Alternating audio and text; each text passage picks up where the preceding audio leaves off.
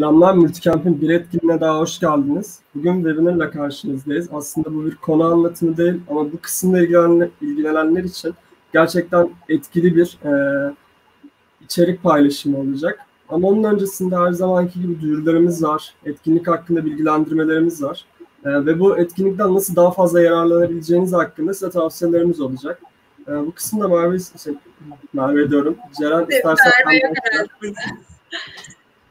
Selamlar herkese. Ee, öncelikle hepiniz hoş geldiniz. Barış abi de burada galiba. Hoş geldin Barış abi diyelim ona da.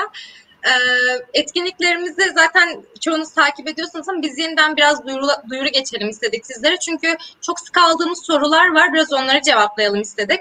Ee, hala e, ekip alımlarımız devam ediyor. Evet biraz oturmuş kemik bir kitlemiz var ekip anlamında Developer Multicamp ekibi olarak fakat e, hala e, sizlerle tanıştıkça içlerinizden çok hevesli olan insanlar ve gerçekten bizlere bir şey katabileceğini bildiğimiz insanlar oluyor. E, ekip alımlarımız hala devam ediyor. Bunun için sosyal medya hesaplarımızdan bizlerle iletişime geçebilirsiniz. Aynı zamanda ee, Instagram, Twitter, sosyal medya hesaplarımız zaten biliniyor ve etkinlik duyurularımızı oradan çıkıyoruz. Fakat eğer bizlerle daha kolay birebir iletişime geçmek isterseniz, sorularınızın daha çabuk yanıtlanmasını isterseniz sürekli aktif olan Discord kanalımız ve Telegram kanalımız var aynı zamanda. Oralara da Instagram sosyal medyalarımızdan ulaşabilirsiniz. Bu şekilde hem sorularınızı daha hızlı yanıtlayabiliriz hem de bizlerle daha interaktif bir iletişim içerisinde e, olabilirsiniz. Aynı zamanda şunda e, şundan da bahsetmek istiyorum. Yakın zamanda e, Google gruplarından Developer Student Club'lara e, lider alımları yapıldı. Ve bu kısımda birkaç lider bize ulaştı, ekibe katılmak istedi. tabii ki onlara daha çok destek oluyoruz ve olabildiğince ekip kısmında da aramıza almaya çalışıyoruz. Ama genel katılımcılardan da şu anda aramızda liseliler var, mezun arkadaşlarımız var, şu anlık bir işte uğraşan arkadaşlarımız var. Hani gruba katılma konusunda gerçekten size bir şeyler katabileceğimize inanıyoruz. Formlarını paylaşıp e, paylaşıyor olacağız. Siz de dolduruyor olabilirsiniz. Aynı zamanda buradan birkaç tane başvuran lider arkadaşı da gördüm. Selamlar onlara da.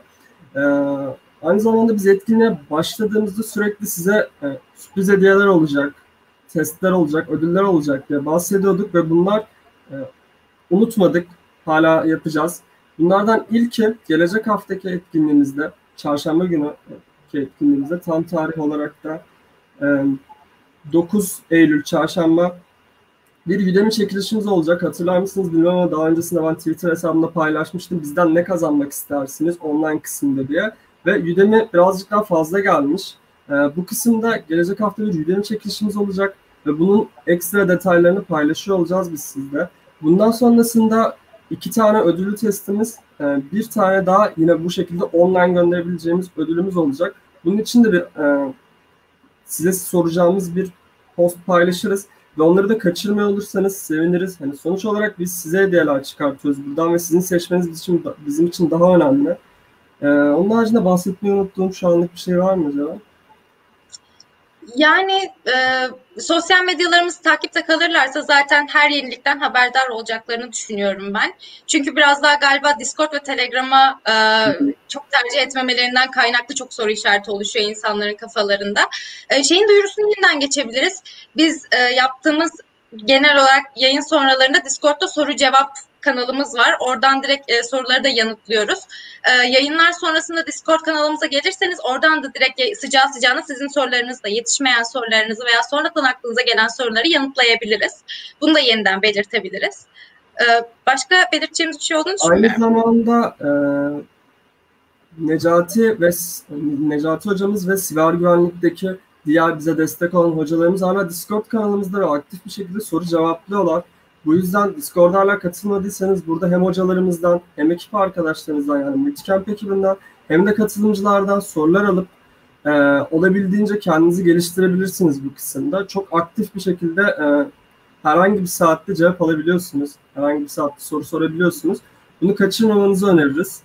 E, ekstra ekip kısmında size gerçekten iyi bir içerik çıkartmak istiyoruz ve bugün de e, Telegram ve Discord'da bahsettiğimiz gibi bir e, bu etkinliği nasıl geliştirebiliriz formu olacak. Arkadaşımız da hemen sormuş. Ona cevap olarak söyleyeyim. Quiz kısmı yerine biz bu etkinliği daha da geliştirmek istiyoruz. Sadece bu etkinlikle değil. Bundan sonra gelecek Google Cloud eğitimimizde de bir adım öteye geçmek istiyoruz. Bu yüzden quizle eşdeğer olabilecek bir e, bugün bizim için e, değerlendirme formu paylaşılacak. Bunları doldurarak bir quiz puanı elde edebilirsiniz. Bir de söylemek istediğim son bir kısım sosyal medyalarınızda ne gibi içerikler görmek istersiniz devamında? Biz şu anlık sadece duyurularımızı yapıyoruz ama e, bazı arkadaşlarımız bizden bilgi paylaşımları da istiyor ve e, bu kısımda destek olmak isteriz, yapmak isteriz. Eğer böyle şeyler de görmek isterseniz bize ulaşın. Yani biz bilgi ağırlıklı bir e, kısımda görmek istiyoruz diye. Bunu da yapıyor oluruz. Onun haricinde lafı uzatmadan artık konuşmacımız Murat Yener'e ekrana almak istiyorum. Evet, hoş geldin. Merhaba.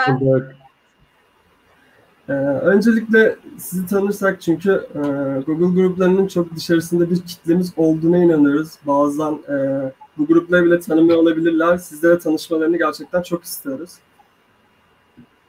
Tabii. E, ben Murat. E, Google'da Android e, Developer Relations ekibinde çalışıyorum Amerika'da. E, ama işte e, bu Google e, Developer gruplarıyla da ilginç bir hikayem var. Ben e, GDG İstanbul'u ilk kuran e, daha sonra da işte 2015'e kadar organizatörü dım. E, daha sonrasında da Amerika'ya gelince e, GDG San Francisco'nun organizatörlüğünü yaptım bir süre. E, daha sonra Google'a gelince zaten e, organizatörlüğü bırakıyorsunuz zorunlu olarak. E, ama hep e, bu community ile içli dışlı oldum. Zaten e, herhalde Developer Relations'ta çalışmamın nedeni de biraz e, o geçmişim oldu.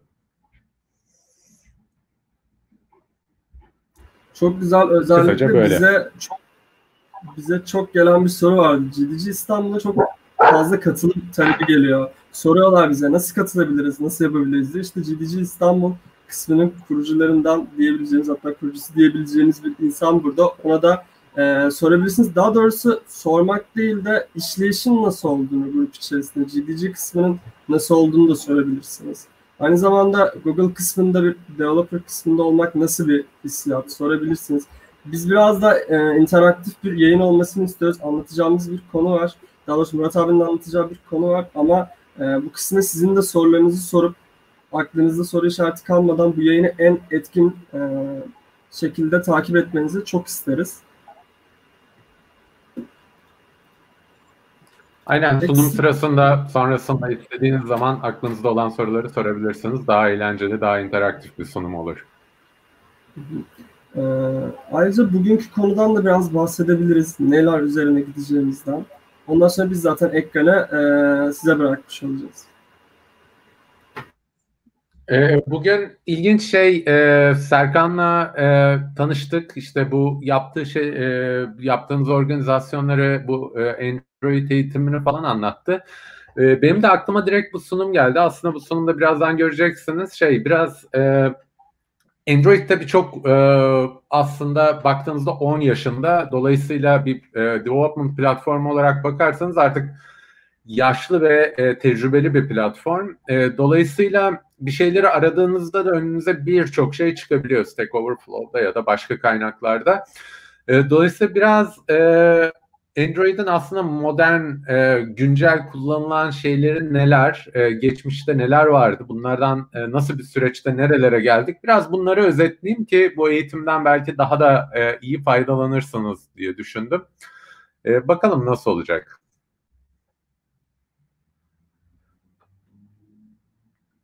Hemen bir soru gördüm şeyde, onu cevaplayayım. Ee, Google mobil uygulamalarda aktif olarak Kotlin mi kullanıyor? Ee, evet, e, şöyle söyleyeyim, Android'in e, kendi e, API'ları hala Java ile yazılıyor. E, ama bizim yazdığımız uygulamalar, bunda nedenleri var tabii. E, bizim yazdığımız uygulamalar e, genelde Kotlin kullanılıyor ya da Kotlin'e geçiyor şu anda deyip e, eğer vakti geldiyse sunuma geçebilirim.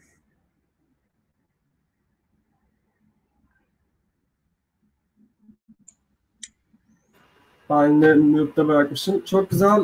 O zaman iyi yayınlar diliyoruz katılımcılarımıza ve tamam. size ekranda e, sunumla baş başa bırakıyoruz. İyi yayınlar. Sağ olun. Ee, herkese tekrar teşekkürler ve tekrar merhaba. Ee, ben öncelikle şey e, küçük bir e, şeyde bulunayım. E, şu an aslında Amerika'da dört günlük bir tatil var. Ben de o tatilin kapsamında evde değilim. E, dolayısıyla otelden yapıyorum sunumu. Bir diğer bunun e, şeyi de eğer bağlantıda bir sıkıntı olursa neden olduğunu anlarsınız diye söylüyorum.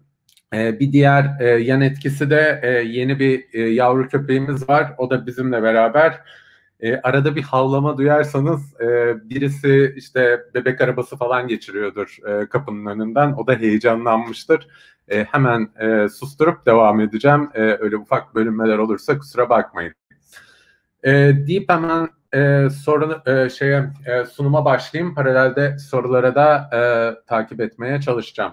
Şimdi Modern Android Development dediğimizde aslında ne kastediyoruz? Bunu anlamak için herhalde biraz da klasik Android Development neydi ki e, ile bakmamız lazım.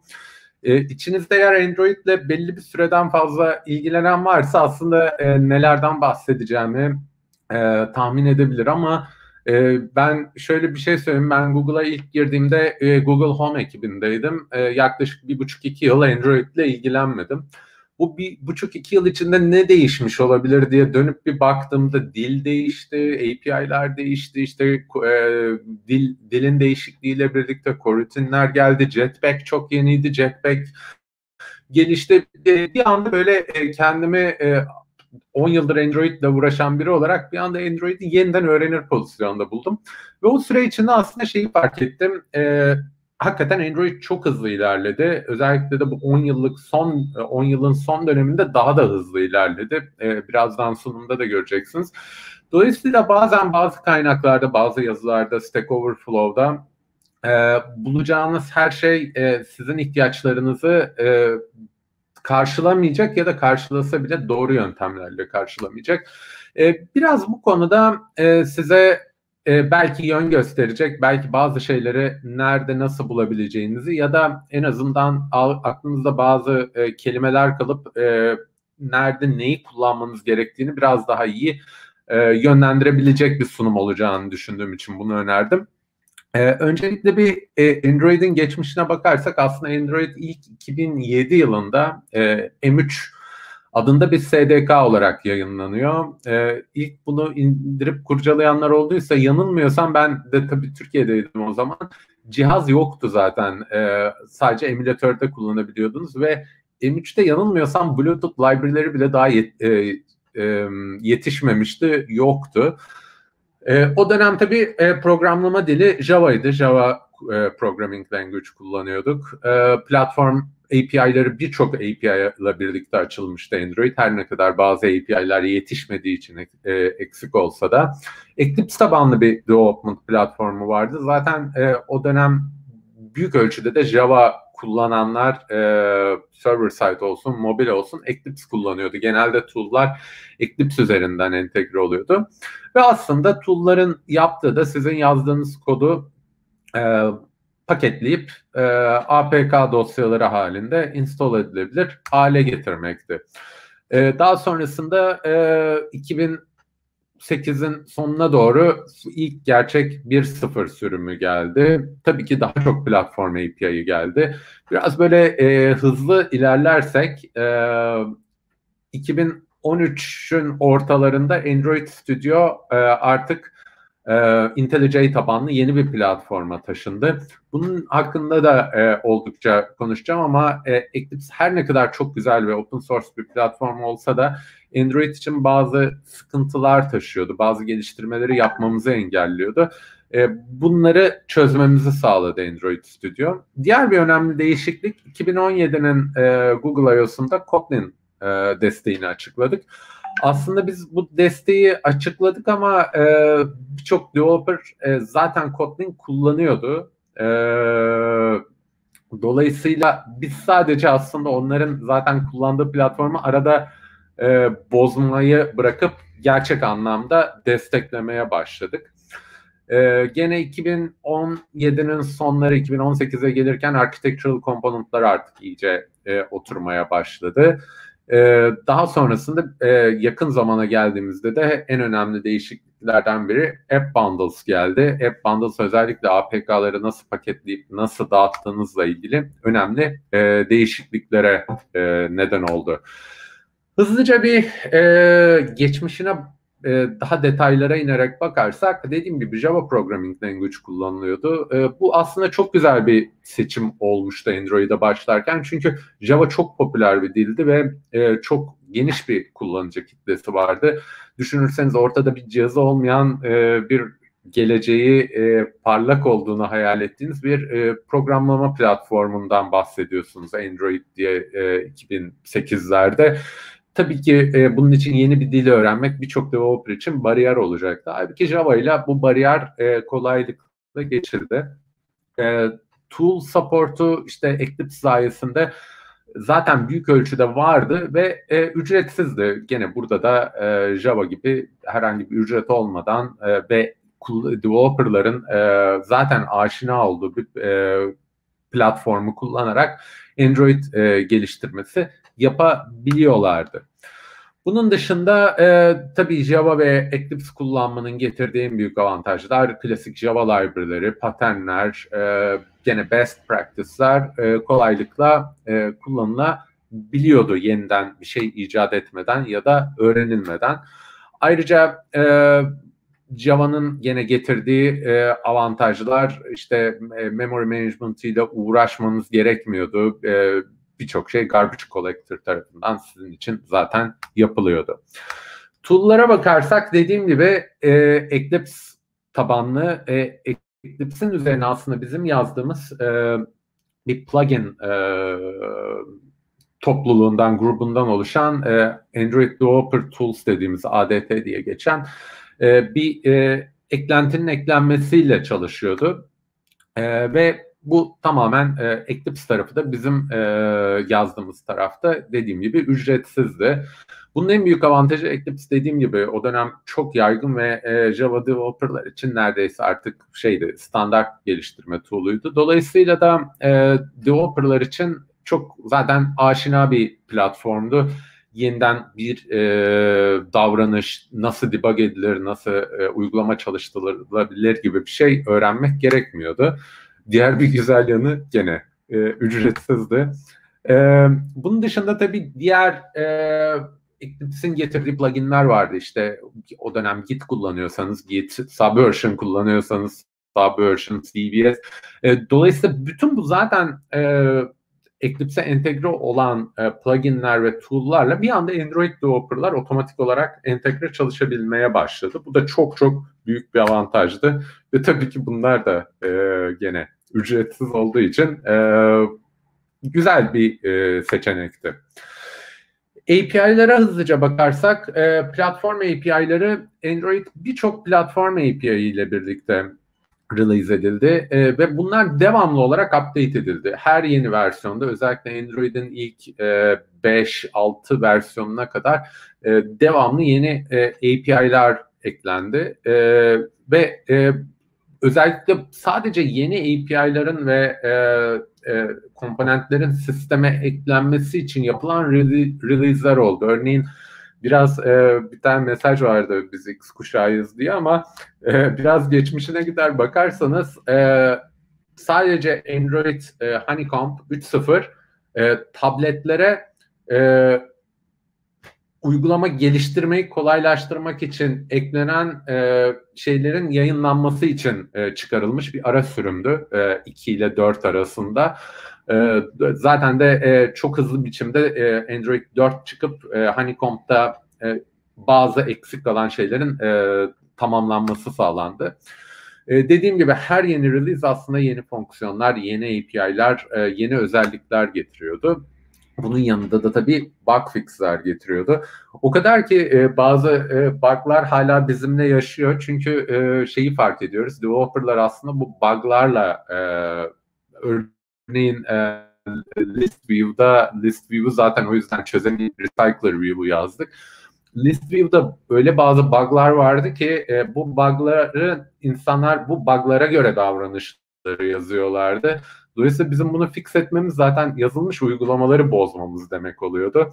E, dolayısıyla e, hem bir yandan platformdaki birçok bug'ı çözüyorduk hem de bazı bug'ları çö- çözemeyip bunları nasıl e, çözebileceğimize işte e, list view'dan recycler view'a geçmek gibi e, yeni dizaynlar yaparak e, sağlamaya çalışıyorduk. Hızlıca bir versiyon grafiğine bakarsak aslında bu anlattıklarımı daha iyi göreceksiniz. E, 2009'a gelirken 1.0 çıkmıştı demiştik. E, 2009'un başlarında 1.1, e, hemen gene onu takip eden 1.5, 1.6, artık 1.5 ve 1.6 ile birlikte o ünlü e, tatlı isimleri gelmeye başladı. 1.5 Cupcake'ti, 1.6 Donat'tı, 2.0 e, Ekler, Froyo şeklinde devam etti. Bakarsanız e, henüz daha iki yıl oldu ama e, bir sürü sürüm e, yılda iki üç sürüm neredeyse yayınlanır şekilde gitti.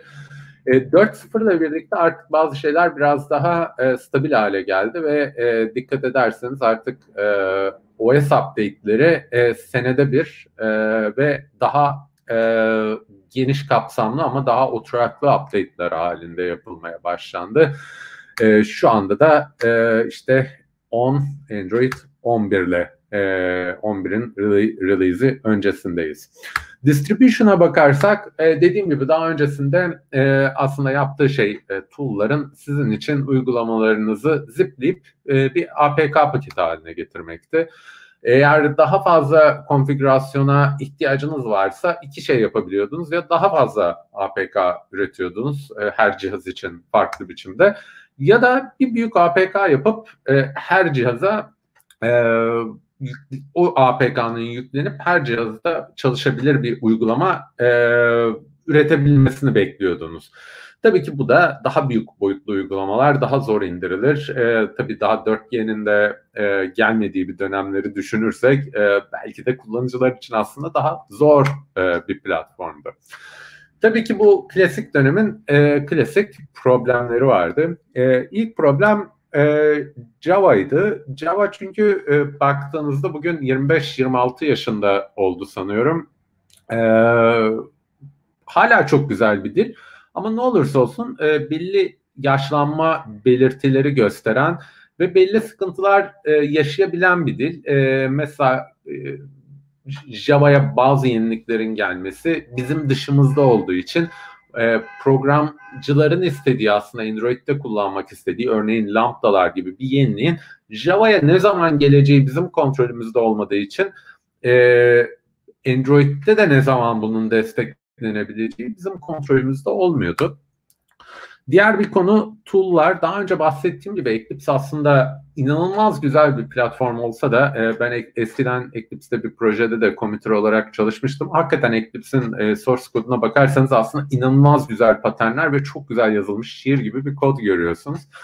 Ama Eclipse'in platform olarak Android Developer tool'larını e, tam destekleyen e, yapmak istediğimiz bazı şeyleri desteklemeyen yanları vardı. Bu da bizim için e, sıkıntı yaratıyordu.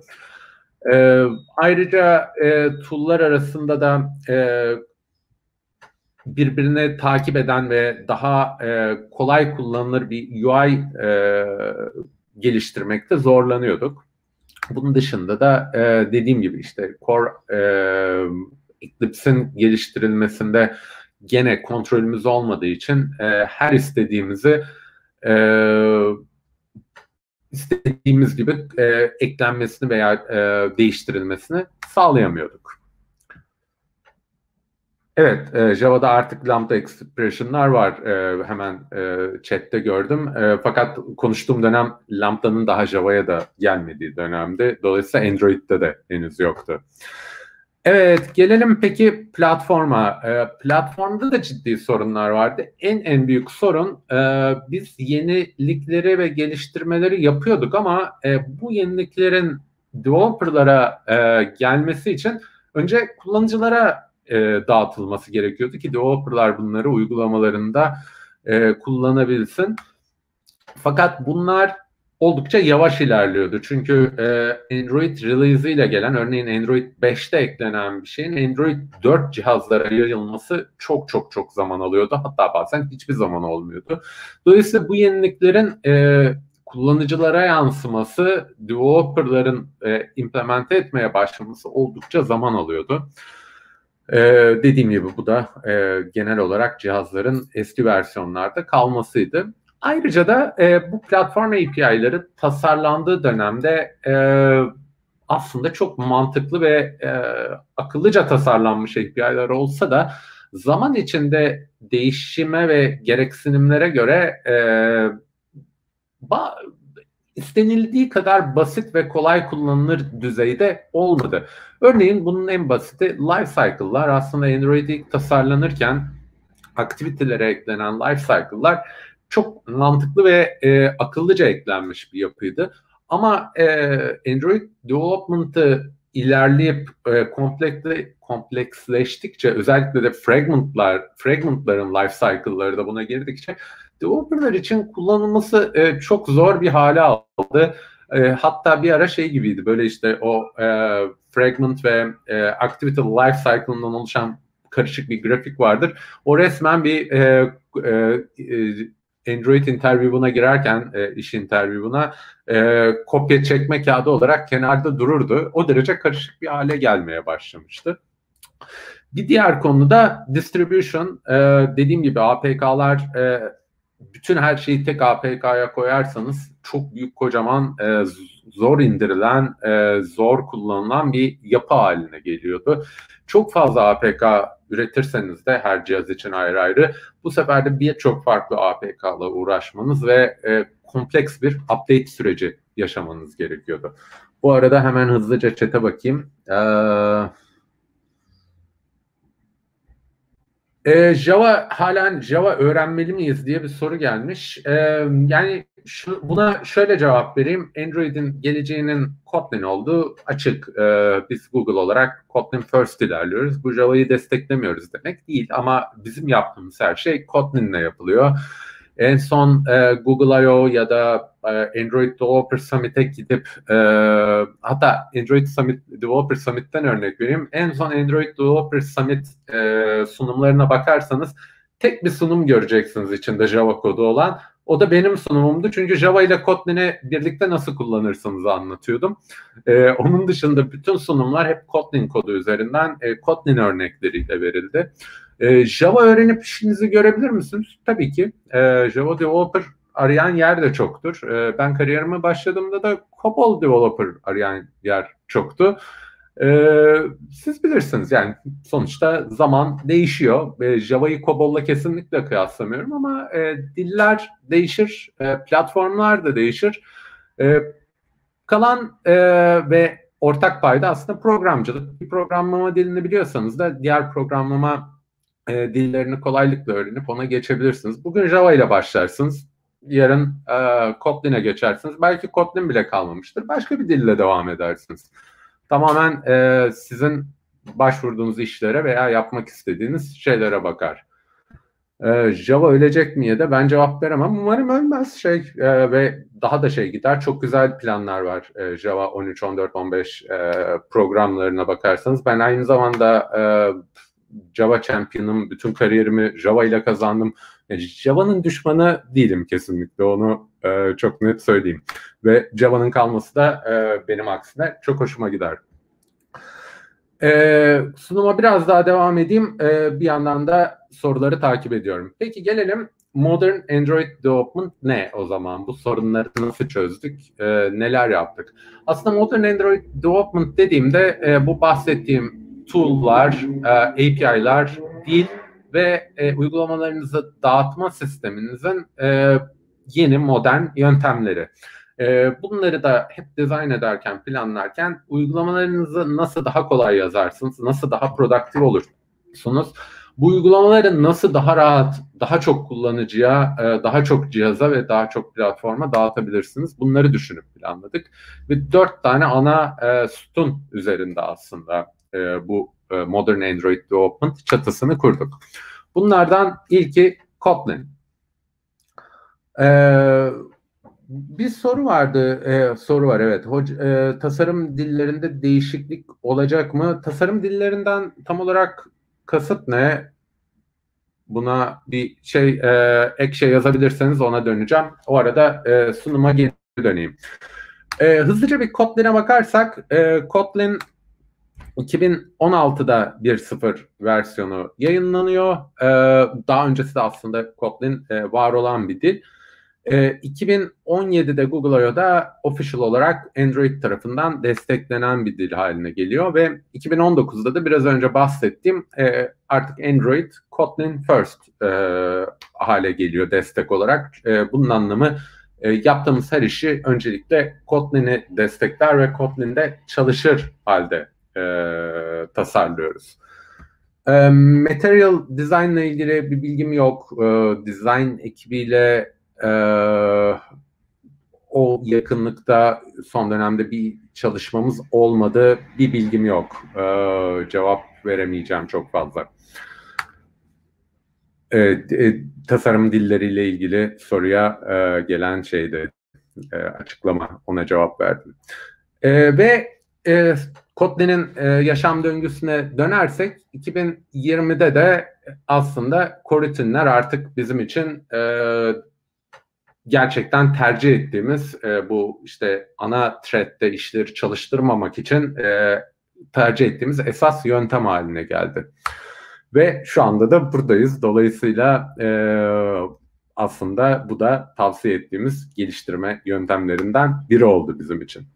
Peki biz niye Kotlin'i seçtik? Aslında e, çok ilginç bir şey var. E, Java'nın dediğim gibi e, versiyonlarında planlanan e, yeniliklere dikkat ederseniz Kotlin'de bunların çoğunun olduğunu göreceksiniz. E, Kotlin modern ve e, aslında developerların talep ettiği, istediği birçok e, özelliği e, barındıran bir dil.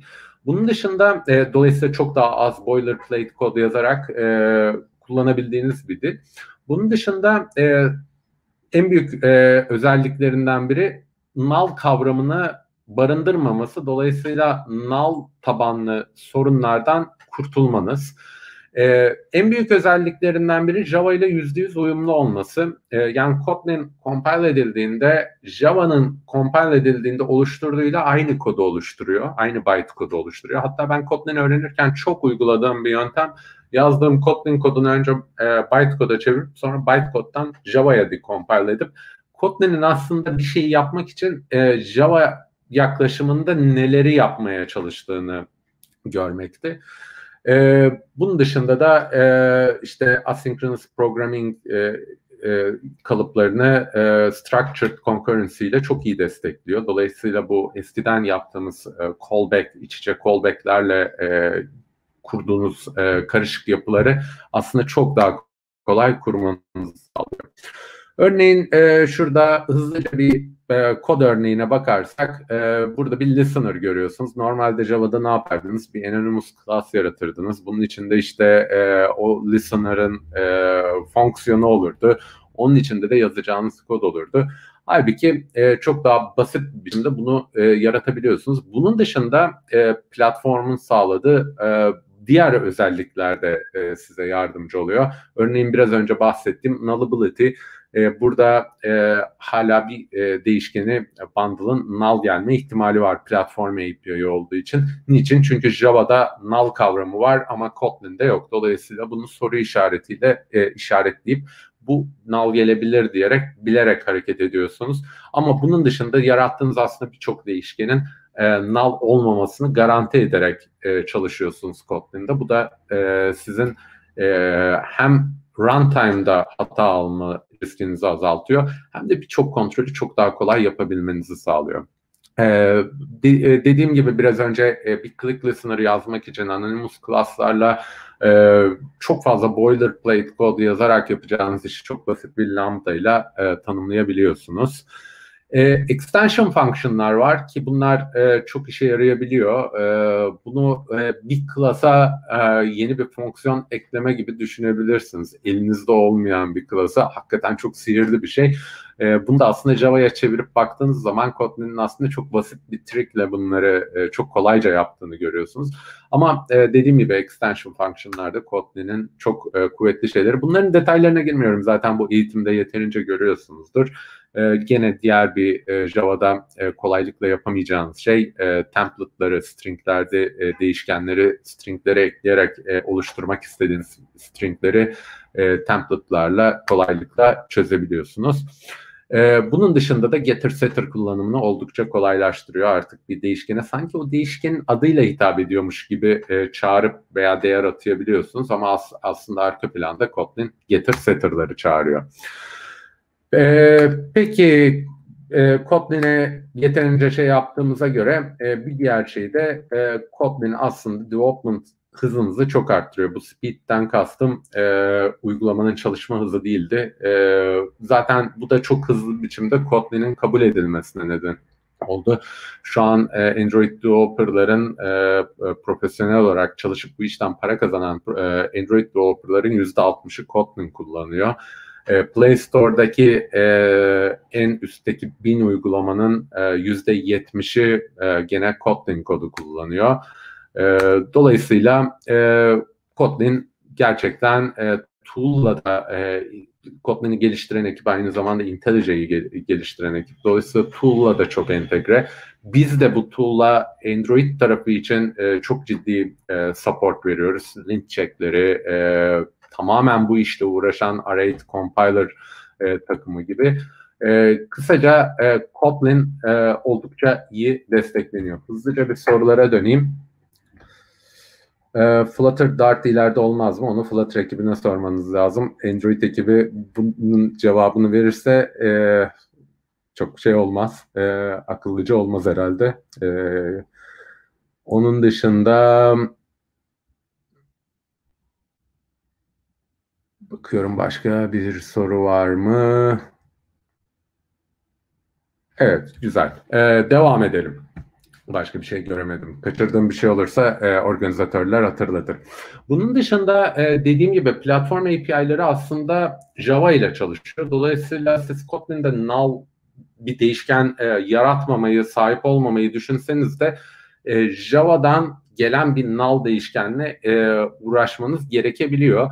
E, bunun için de gene e, e, işinizi kolaylaştırmak için eklediğimiz annotation'lar var. E, örneğin recently nullable ve recently null e, sizin uygulamanızı crash etmeden e, bu alanları null e, safety için e, kontrol edebilmenizi sağlıyor.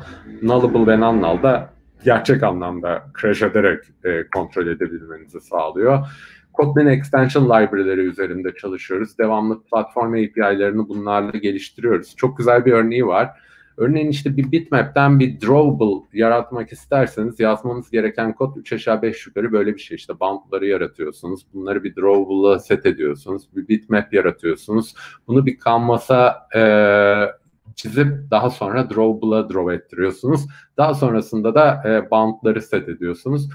E, bunu yeni eklediğimiz extension fonksiyonlarıyla e, çok kolaylıkla yapabiliyorsunuz. E, artık to bitmap diye bir fonksiyon var ve sadece bu fonksiyonu çağırırsanız biz arka planda zaten sizin o yapmanız gereken kodları yap yapıyoruz. E, bunu normalde extension fonksiyonları olmadan yapmamız demek e, aslında birçok e, şeyin e, mevcut bir klasa e, ve interface'lerine yeni bir metot ekleyerek mevcut e, çalışan kodları sıkıntıya atmak demek. Halbuki extension fun- function'larla bunu kolaylıkla yapabiliyoruz. E, bunun dışında birçok yine Kotlin spesifik API e, yayınlıyoruz. E, Room, Work Manager, Paging yeniden yazıldı tamamen e, Compose, e, şey, e, Kotlin ve e, coroutines E, Jetpack Compose tamamen yine Kotlin tabanlı bir e, UI tool e, geliştirme platformu. E, bunun dışında e, dokümanlar, training, sample'lar, e, geçen dönem ben de training üzerinde çalışıyordum. E, hem beginner hem advanced trainingler yayınladık e, Kotlin, e, Udacity ile birlikte Kotlin Android Development için. E, Birçok e, şey üzerinde çalışarak e, size gerekli kaynakları sunmaya çalışıyoruz. Bunların en son örneklerinden biri de Kotlin Vocabulary serileri. Kotlin'de kullanılan böyle ilginç kelimeleri seçip bunların aslında e, Java'daki veya bytecode'daki karşılıkları ne onlara bakmaya çalışıyoruz. Bayağı soru birikti. Hızlıca bir bakayım. Ee, şey sorular geliyor React Native, Flutter. Ee, bunlarla ilgili bir cevap verme şansım yok. Ee, bu yani e, kibarca e, cevap verirsem e, işimden ayrılmam demek. Ben Android SDK üzerinde çalışıyorum. Bunu size e, sunmaya, anlatmaya, şey yapmaya çalışıyorum.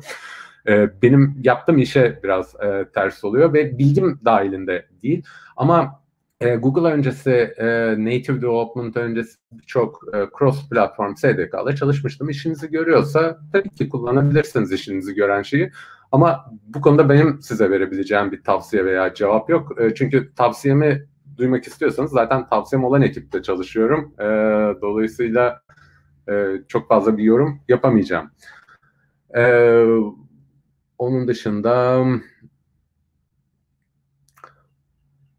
genel olarak developer e, roadmap ile ilgili nasıl daha iyi bir developer olabiliriz, nasıl daha donanımlı bir e, developer olabiliriz gibi e, sorular görüyorum. Sadece Kotlin dilini öğrenerek donanımlı bir developer olamayız diye düşünüyorum diye bir soru gelmiş. Niye olduğunu e, bilmiyorum ama e, bence olabilirsiniz. Peki, e, tabii ne kadar çok dil bilirseniz bu kadar avantajları, ne kadar çok e, farklı platformu biliyorsanız da avantajları ama sadece Kotlin bilerek iyi bir Android developer olabilirsiniz tabii ki. Deyip e, devam edeyim yoksa gitgide uzuyor. E, Android Studio, Android Studio'ya birçok yenilik geldi. Dediğim gibi Android Studio aslında 2013 Google I.O.'da Android, e, IntelliJ tabanlı Android Studio e, supportunu duyurmuştuk.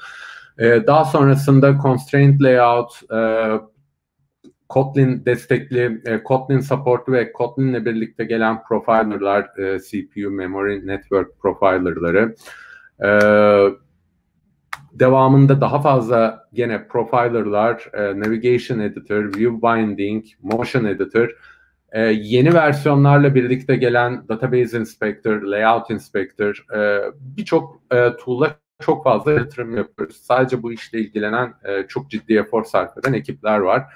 E, en büyük avantajı dediğim gibi IntelliJ e, Kotlin'de zaten çok e, native ve iyi çalışıyor. E, çok kolay e, code refactoring yapabiliyorsunuz. E, UI için e, çok e, güzel yeni tool'lar var. İşte motion layout gibi hakikaten e, çok kolaylıkla birçok animasyonu eskiden çok çok vakit harcayarak yapacağınız şeyi kendi editörünü de kullanarak çok kolaylıkla yapabiliyorsunuz. E, bunun dışında core ve pluginler e, JetBrains ile birlikte e, bizim de dahil olmamızla e, bizim de kontrolümüzün e, içinde olmasıyla çok daha Android için sağlıklı biçimde gelişiyor. E, Kotlin ve e, Gradle arasında da gene çok güzel bir ilişki var ve çok uyumlu çalışıyorlar. E, bunun dışında da dediğim gibi link checkleri e, için devamlı e, biz de yeni eklentiler yapıyoruz. Ve en önemlisi de tabii e, bunun yanında devamlı yeni e, ve daha önceden e, bulunan API'ları e, tool'lara ve e, stüdyoya entegre ediyoruz. Örneğin işte navigation için e, çok ciddi bir tool support var. Benzer biçimde layoutlar, data binding, room, database'ler e, ve birçok şey için e, support geliyor. E, hızlıca bir e, Jetpack'e bakalım. E, Jetpack e, aslında e, 2017'de Constraint Layout var e, Jetpack kapsamında. Daha sonra ilk Architectural Components 2018'in sonuna e, başlı e, 2018'e yaklaşırken 2017'nin sonlarına geliyor. Ve Architectural Components'ta çok şey değişiyor. Hakikaten View Model, Room e, ve Life Cycle Aware Component'lar e, developerların işlerini çok kolaylaştırıyor. Ee, daha sonrasında 2018'in iOS'unda e, Paging Navigation Work Manager e, duyuruldu. Gene Work örneğin tek başına Work Manager bile çok çok önemli bir şey. E, eğer Work Manager öncesi bu tip e, joblarla uğraştıysanız e, sadece bunun için yazılmış library'ler vardı. 2019'a ee, yaklaşırken Material Design Component, e, daha sonrasında gene bence Jetpack'teki en önemli şeylerden biri e, Camera X 2019 e, Google I.O.'da duyuruldu. Camera X ile birlikte artık kamera uygulamaları biliyorsunuz her cihazın farklı kamera yetenekleri var. İki kamera, üç kamera, dört kamera, işte e, kameralarda farklı e, hardware yetenekleri. E, kamera X birlikte eğer uygulamanızda bir e, kamera e, komponenti yazıp kullanıyorsanız üzerinde çalıştığınız platformun özelliklerini hakikaten e, çok daha rahat ve full kapasiteyle kullanabiliyorsunuz. Daha sonrasında da bu yıl yayınladığımız e, Motion Layout ve Motion Editor var. Bununla ilgili çok çok güzel e, bir Code var. Çok tavsiye ederim. E, hemen normalde ofise gittiğimiz dönem yanımda oturan e, bir arkadaşın yazdığı e, Sean diye çok da iyidir kendisi zaten bu Motion e, Layout konusunda. E, herhalde e, Google'ın yayınladığı en iyi Code Lab'lerden biri olabilir. E, constraint layout, e, constraint layout'a e, bu bahsettiğim şeyleri çok e, hızlıca geçeceğim. E, çünkü dediğim gibi gene bu eğitimde zaten görüyorsunuzdur. Constraint layout aslında relative layout'ta e, ne yapmamız gerekiyordu diye düşünüp relative layout'u bir nevi yeniden dizayn etmemiz gibi e, UI komponentlerini birbirine e, constraint'ler vererek çok e, kolaylıkla ve güzel biçimde tasarlayabiliyorsunuz. Motion layout daha önce oh, pardon e, animasyonu oynatmak için basmam lazım sandım. E, motion layout e, hızlıca animasyonları yapabilmenizi sağlıyor. Bir başlangıç ve bir bitiş e, ekranı verdiğinizde aslında aradaki animasyonu oluşturuyor ve siz de bu animasyonu işte aynen burada peti değiştirdiği gibi değiştirerek çok kolaylıkla normalde çok zor yapılacak bir animasyonu hızlıca yapabiliyorsunuz. E, life cycle'lardan bahsetmiştim işte bu o ünlü grafik ve bu sadece activity'nin activity'nin life cycle'ı. Buna bir de fragment eklediğinizde aslında korkunç karışık bir grafik ortaya çıkıyor. E, bu life cycle'ları e, aslında artık e, çok uğraşmanız gerekmiyor. Çünkü e, çok kolaylıkla e, bir observer ekleyip daha sonrasında hangi life cycle'da ne yapılmasını istiyorsanız bununla ilgili annotation'ı kullanarak örneğin burada işte on start'ta bir şey yapmak istiyorsunuz observer'ınızda.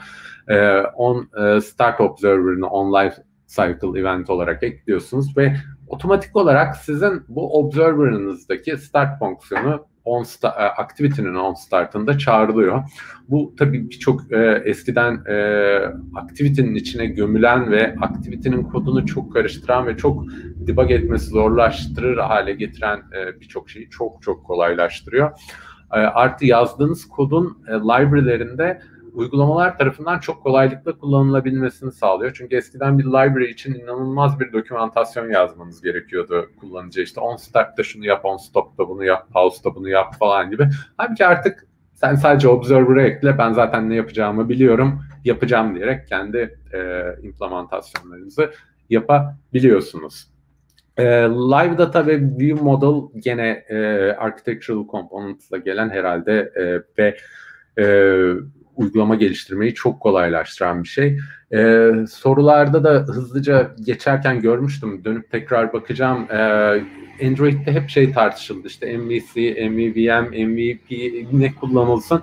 Ee, aslında live, e, live live data ve view model e, bir parça bunu çö- e, çözdü ne kullanırsanız kullanın en azından life e, cycle aware çünkü e, eskiden işte e, telefonu yan çevirdiğinizde bile fragmentınız e, öldürülüp baştan yaratıldığı için bütün datanızı kaydettim, geri getirdim birçok şeyle uğraşmanız gerekiyordu. Halbuki artık life cycle aware componentlarla view model e, bunu kendi kendine tutabiliyor.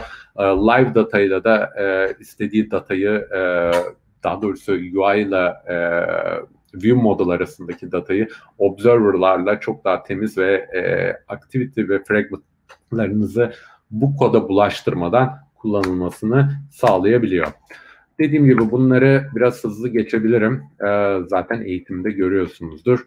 Benzer biçimde Room artık e, database ile daha hakikaten low database level'a uğraşmadan entity level'ında düşünüp dizaynlarınızı yaparak e, çok kolaylıkla e, istediğiniz query'leri e, bir DAO içinde tanımlayarak safe biçimde kullanabilmenizi sağlıyor. Örneğin buradaki örnekte donut diye bir tablo yoksa e, bu compile etmiyor. Çünkü e, Room compiler'ı e, elinizdeki tanımladığınız database'i ve yazdığınız query'yi bu şekilde kontrol ederek karşılaştırabiliyor.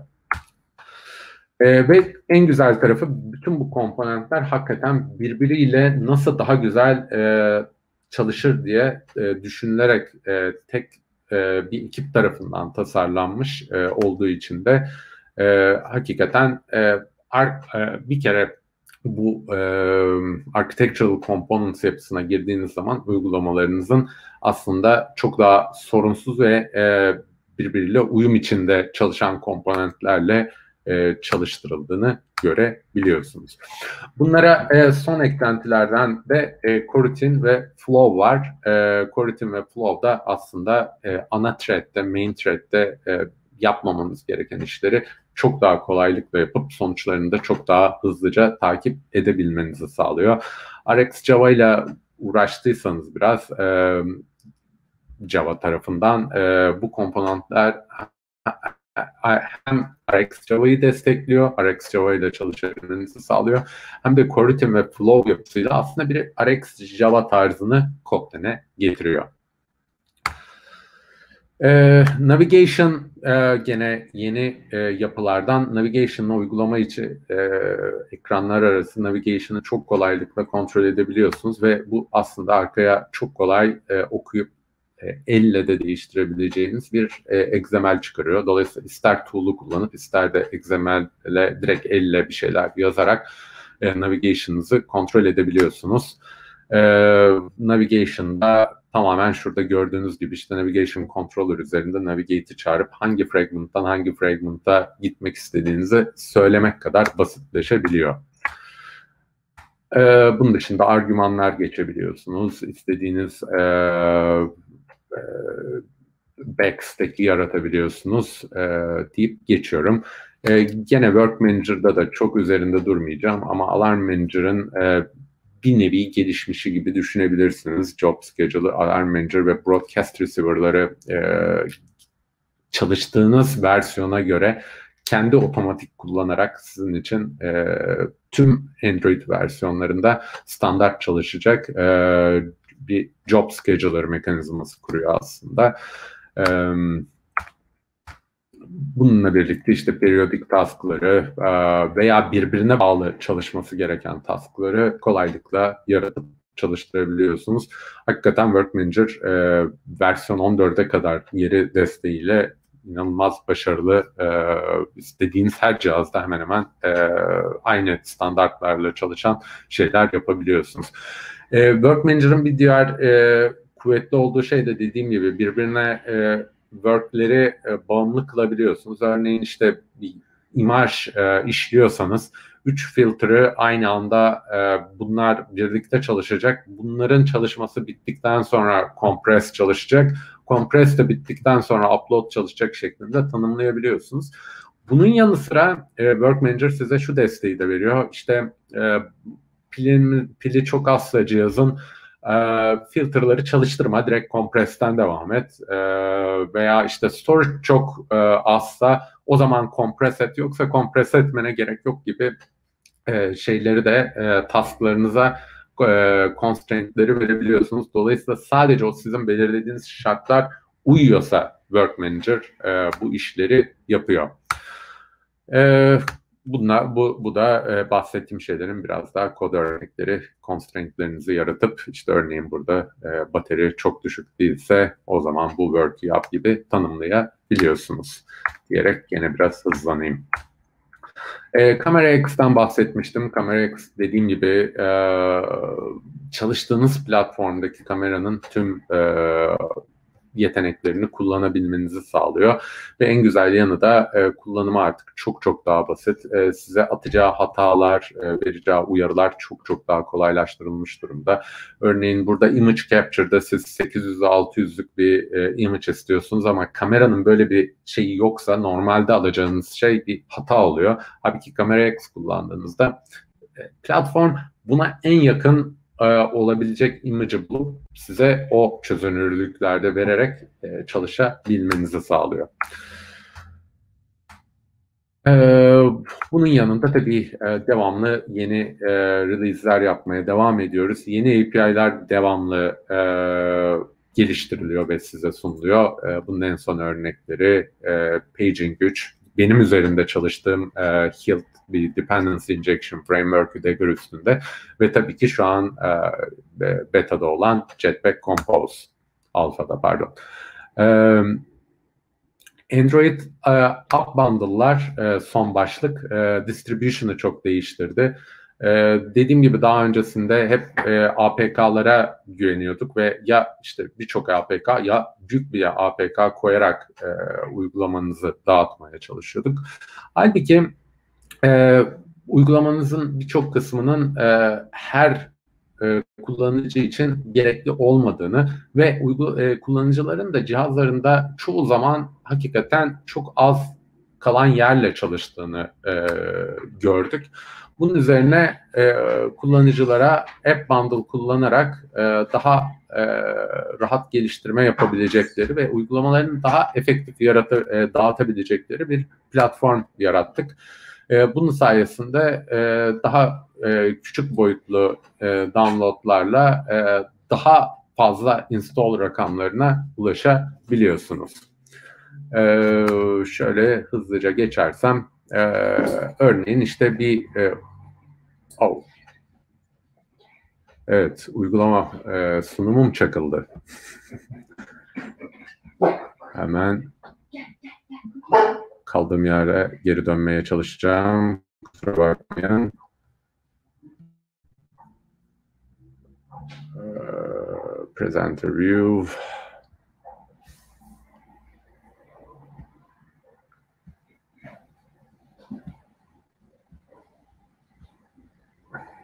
Evet, nerede kalmıştık? Hemen bir de onu bulayım.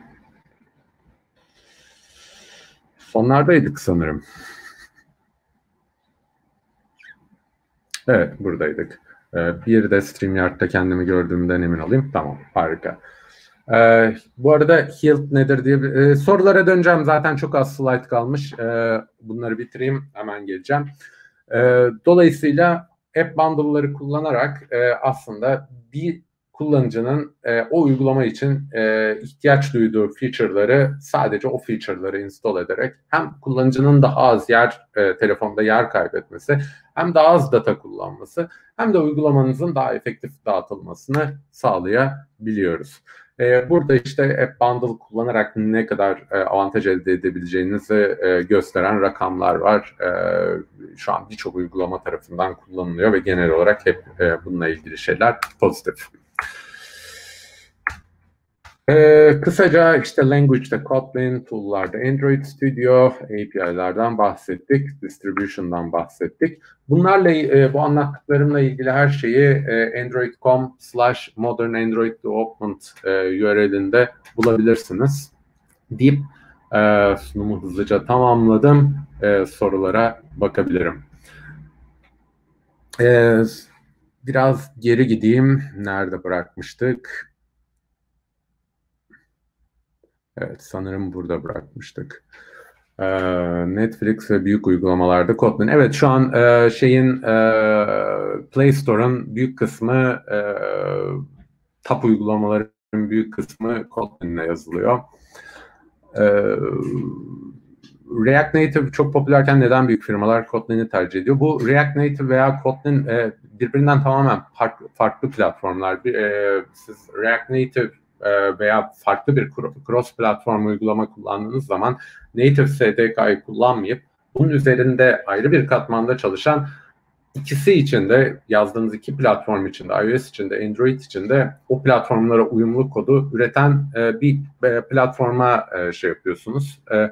Eğer React Native ihtiyaçlarınızı çözüyorsa ve bu tip bir geliştirme platformuna ihtiyacınız varsa da e, bunu kullanabilirsiniz. Ama React Native popülerken Kotlin niye tercih ediliyor? Aslında e, elma armut gibi bir karşılaştırma oluyor. React Native e, cross platform e, platformlar içinde popüler. Kotlin'de Android'i e, programlama dilleri içinde popüler. E, dolayısıyla e, React Native bir dil değil platform, Kotlin'de Android platformunun dili e, tam karşılaştırılacak şeyler değil. Ama tekrar diyorum e, bir programcılıkta ve mühendislikte bir sorunun e, her sorunun aynı şekilde e, doğru çözümü olmaz. E, işinizi React Native'de görebilir. E, Android üzerinde Java kullanmakta görebilir. E, nasıl şey yapıyorsanız. Ama bizim tavsiyelerimizi soruyorsanız evet e, genelde büyük uygulamaların kullandığı yapılar bunlar ve bunlar e, çözüyor. E, mobil development'a başlarken e, Android iOS ile mi başlamak mantıklı yoksa cross platform ile mi? E, yani native platformu bilmek, e, native platformun kapasitesini ve e, yeteneklerini bilmek e, bence e, her zaman size verecek bir avantaj. E, alttaki Android e, API'larının nasıl çalıştığını ve ne durumda ne tepki verdiğini bilmeden bunları React'ten o hatalarla tar- e, karşılaşıp görmek e, ne kadar e, sizin için üretken ve başlangıç için uyumlu olur? Siz karar verin. E, ben e, Android SDK'yı öğrenerek başlamıştım. Daha sonrasında da cross platform ürünlerle çalıştım. Uygulama da geliştirdim Google'a girmeden önce. E, dolayısıyla size kalmış bir şey. Ama benim e, şeyimi soruyorsanız tabii ki native platformdan başlayıp bir platformu gerçek yetenekleriyle öğrenmeniz e, daha mantıklı.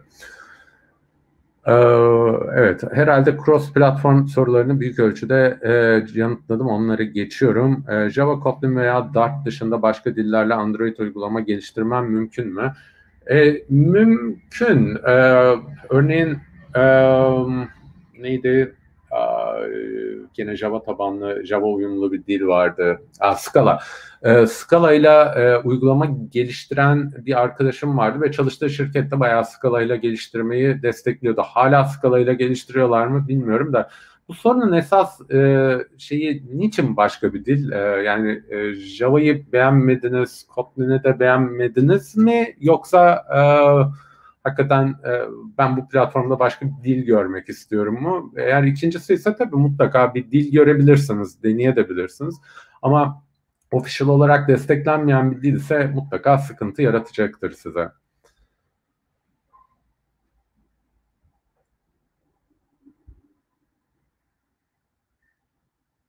E, design patternlar MVC, MVVM veya backend tarafında ağ yapılarını öğrenmeli miyiz? Tabii ki e, ama öncelikle tabii ki bir e, dilden başlamanız e, ve o dili iyi öğrenmeniz lazım. E, e, design patternlar e, zaten saydığınız MVC, MVVM design patternların bir parçası. Design patternlar kabaca bir programlama dilindeki veya platformundaki sık karşılaşılan e, sorunları e, sorunlar için zaten geliştirilmiş çözümlerdir. Yani örneğin işte e, siz bir network resource'unda devamlı e, bu update oldu mu, bu data yenilendi mi, bu data yenilendi mi diye devamlı kontrol etmek yerine bu çok karşılaşılan bir sorundur. Siz subscription koyarsınız, e, karşı taraf size bir değişiklik olduğunda haber verir. Bu örneğin observer design paternidir ve her platformda da vardır. E, design patternları öğrenmenizde bu tip e, sorunlara sorunlar ortadan ortaya çıkmadan çözüm üretmeniz konusunda kesinlikle faydalı olacaktır.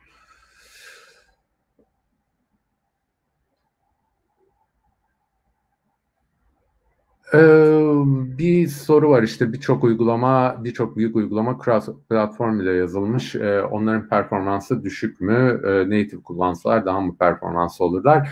E, bilemiyorum. Onlar da e, ne kadar biliyordur bilemiyorum. Çünkü aynı uygulamayı native ile aynı e, özen ve kapasiteyle yazmak lazım. Ama native yazmadığınız zaman mutlaka araya koyduğunuz bir katman var. E, örneğin React'te bir e, JavaScript bridge'i koyuyorsunuz.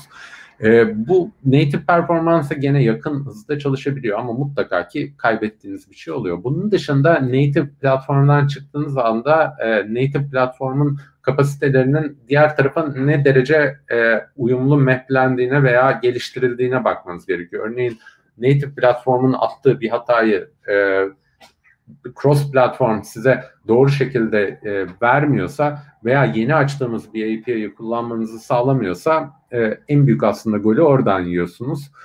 E, ama onun dışında e, performansla ilgili dediğim gibi e, birçok büyük uygulama yazılabildiğine göre tabii ki cross platformda da yazılabilir. Mutlaka ki e, bir performans kaybı olacaktır ama e, belli ki diğer e, koşullar e, bunu gene de e, tolere ettiği için e, bununla yazmayı e, tercih eden firmalar var.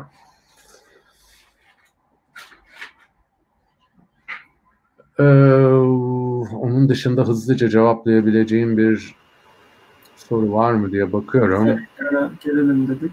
Aynı zamanda bir konuğumuz da var ve Aslında etkinlik sahiplerinden o da. Necati de aramızda. Merhaba Necati. Merhaba. Soruları devam edebiliriz. Hala süremiz var. Hemen bakıyorum. Google'da Android developer olmak için gerekli koşullar neler? Sadece kodlamada iyi olmak yeterli olur mu? Ee, evet, olur. Ee, şöyle söyleyeyim. E, genel olarak Google'a developer olarak girmek için Android, iOS ya da web e, bil, bir, bir şeyi çok iyi bilmeniz önemli değil. Çünkü bugün web var, e, Android var. Yarın biri olmayacak, başka bir şey olacak belki. Bilmiyoruz. Ve Google da size e, ya bugün çok iyi Android biliyor bu adamı alalım çalıştıralım yarın kapının önüne koyarız deyip almıyor. E, bu çok iyi bir programcı. Bugün Android'de çalışır, yarın belki gider Angular'da çalışır diyerek alıyor. Dolayısıyla e, iyi bir programcıysanız hangi platformda olursanız olun e, tabii ki Google'a e, girmeyi deneyebilirsiniz ve e, interview'ları geçtiğiniz koşulda da e, o dakikadan sonra Android ya da başka bir ekipte çalışmayı da e, şey yapabilirsiniz. Herkes sizi yeni bir dil, yeni bir platform öğrenmeniz için destekler. Ee, CodeLab'deki Kotlin Beginner Advanced kurslarını yanındaki diğer kursları verimli bir şekilde tanımlarsak piyasanın ihtiyaçlarını karşılayacak bir yazılımcı olur muyuz? Ee, biraz size kalmış. Her insanın e, öğrenme şeyi, tarzı ve e, şeyi farklı. E, ama evet yani biz e, bu kursları dizayn ederken nasıl yaparız da e, bu kursları takip eden biri e, hakikaten e, bunları bitirdiğinde başarılı bir developer olabilir diyerek tasarlıyoruz. Dolayısıyla öyle olması lazım. E, ee, GD olabilmek için gerekli süreçler nelerdir? E, ee, GD'ler için bir sayfa var. Şimdi e, adresini ezbere hatırlamıyorum ama Google'larsanız çıkar. E,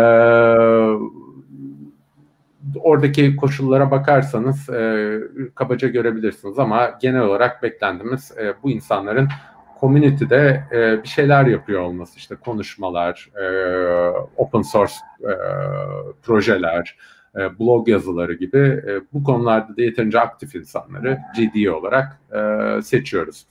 Edmob'la ilgili bir e, şey gelmiş de 18 yaşından büyük olmam gerekiyor. E, bilmiyorum, e, et hesabım da yok. E, 18 yaşından büyü 18 yaşına gelmen için hızlandıracak e, yapabileceğim bir şey de yok.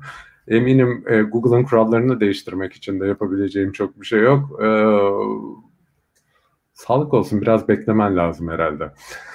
E, birden fazla dil şart da şeyi anlamadım. E, programlama dilimi e, yoksa şey e, İngilizce anlamında mı? E, ama şey tabii yani yabancı dil bilmeniz e, birçok şeyi kaynağı İngilizce koyduğumuz için çok faydalı olacaktır.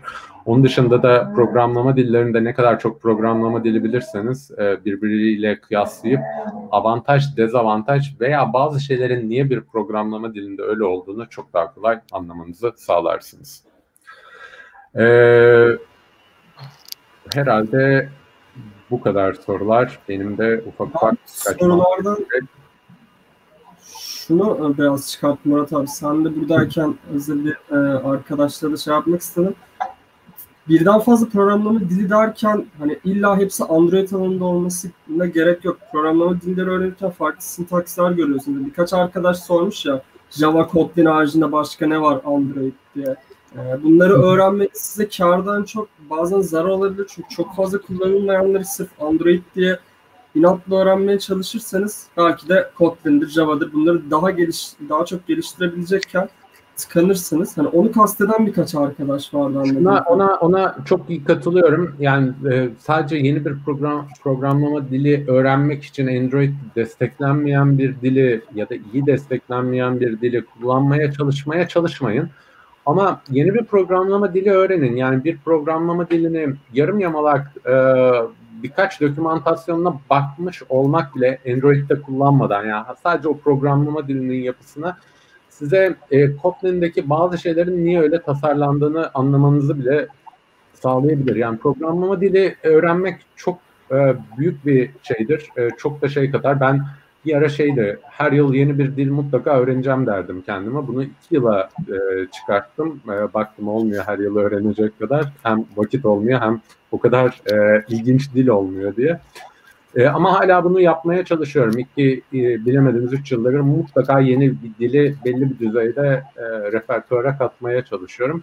Ve genel olarak e, bir dili öğrenmek mutlaka başka bir dilde o yapıların niye öyle olmadığını anlamı, anlamanıza e, ve daha iyi e, özümsemenize şey oluyor. Ama kesinlikle şeye katılıyorum evet Android'de e, Java veya Kotlin dışında bir dili çok kurcalamaya çalışmayın çünkü e, tool'larda da platformda da e, yeterince destek alamayıp e, daha çok zorlanacaksınız onun yerine. Ya sizin e, vaktiniz yoksa Murat abi yavaştan arkadaşlara teşekkür edip bizim son bir duyurularımız var. Sizi e, arka kısmı alabiliriz.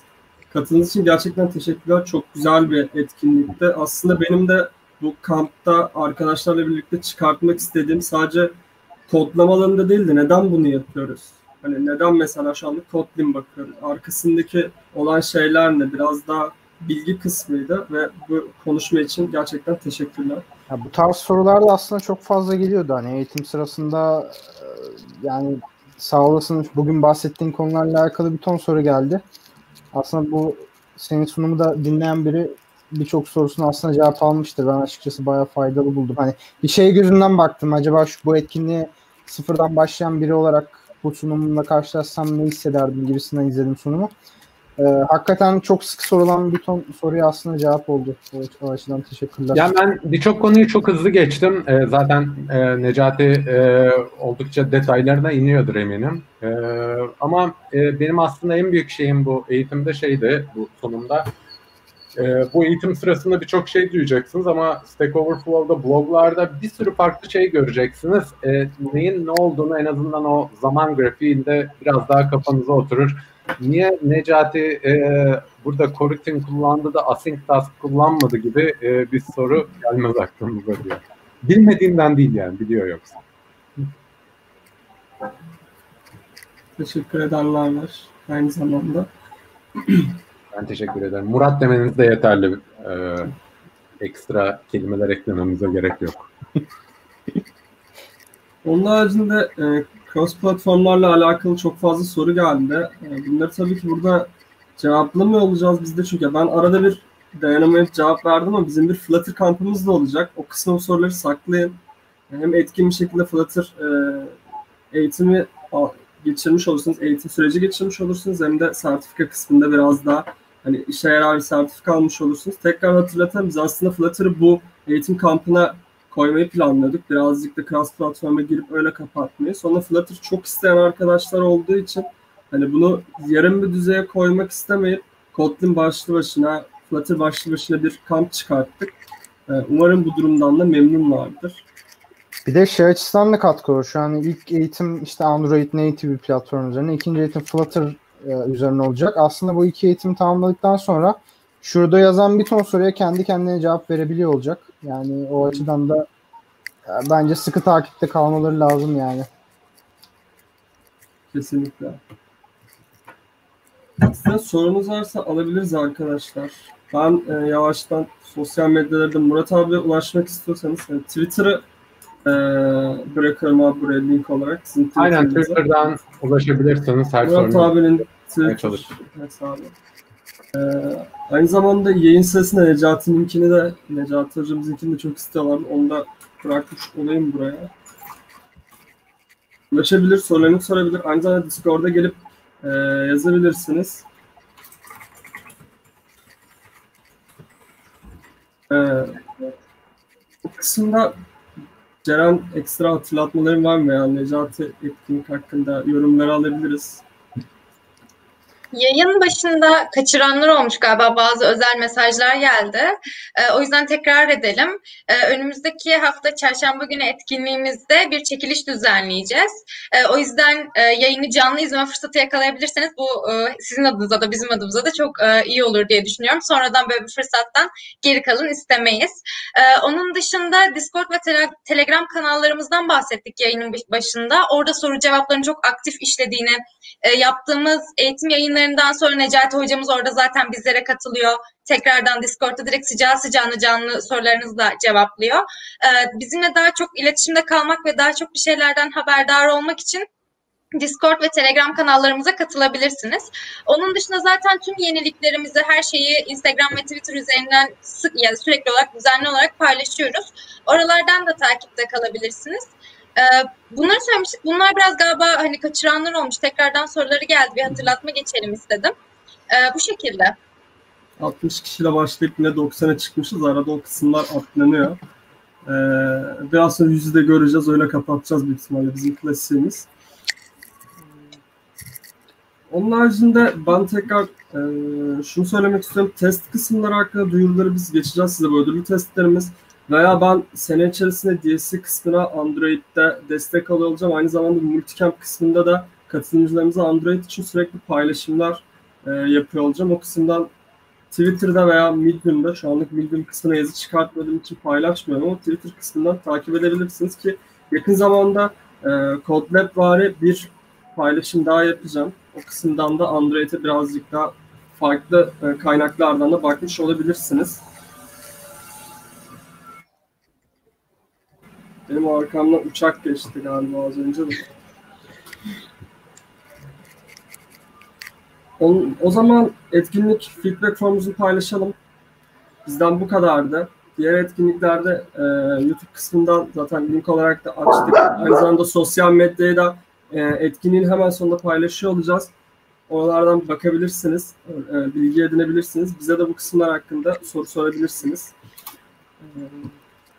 Abi cookie'miz yok mu ya? Cookie havlıyor. Ben ufaktan kaçıp onunla ilgileneyim mi? iyi, iyi dayandı. Otelden atılmadan ben Cookie'yi susturayım. Ee, çok, çok teşekkür ederim. Şey çok zevkliydi. Ee, belki buna tekrarlarız. Ee, o zaman e, her şey daha bir iyi oturur. Ee, konuşuruz. Çok sağ ol. Çok teşekkürler tekrar. Tekrar aramıza katıldığınız konuşmacı olduğunuz için e, yavaştan aşağıya alıyoruz sizde. İyi akşamlar dilerim. Her zaman. İyi akşamlar. İyi akşamlar. Evet arkadaşlar chatten de gördüğünüz gibi e, bu feedback formunu paylaştık. Bunu da dolduruyor olursanız bizim son birkaç durumumuz olacak. Sonrasında biz de yayını kapatıyor olacağız.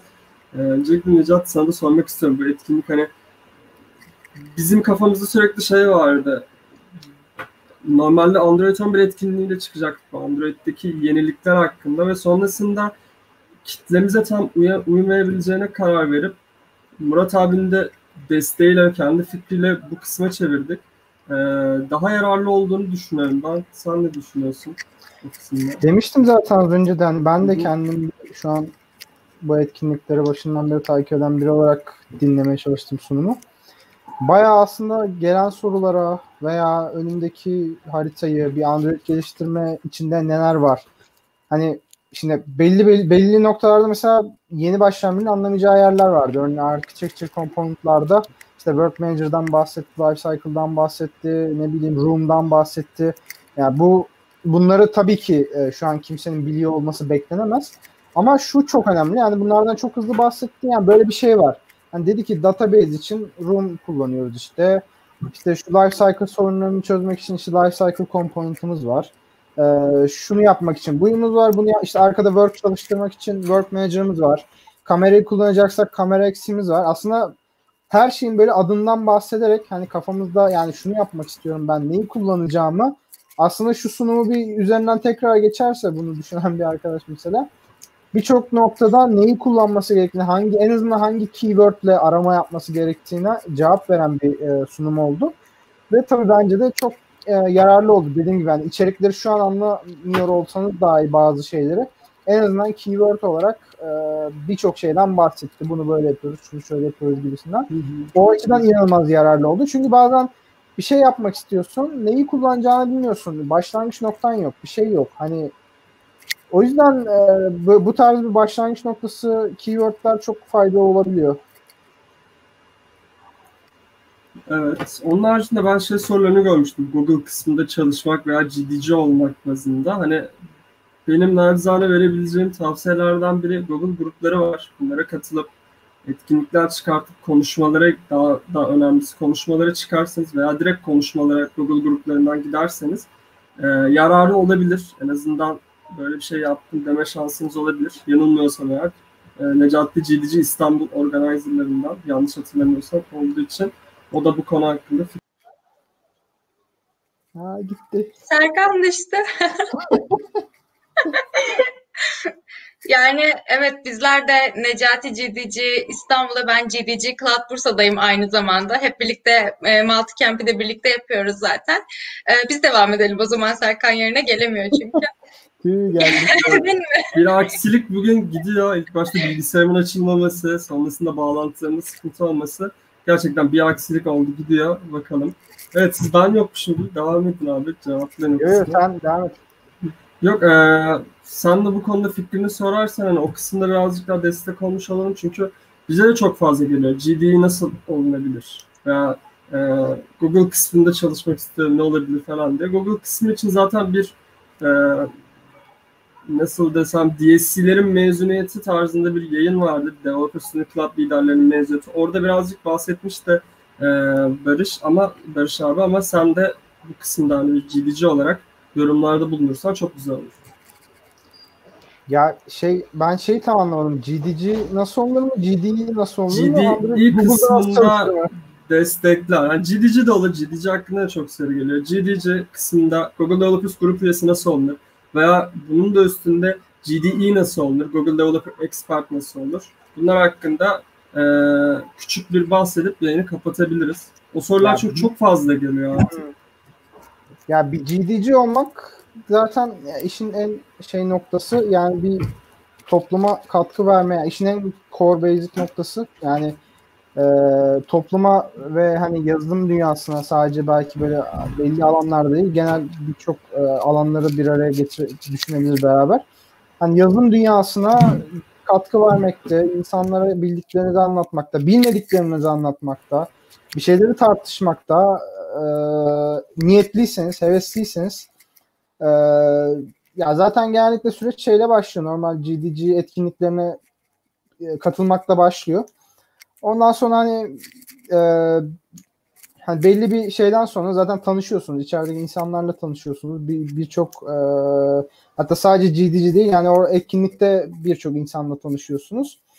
E, ya öncelikle hani bundan zaten çok şey olmanız lazım. Hani bu katkı vermeye çok hevesli olmanız lazım, meraklı olmanız lazım.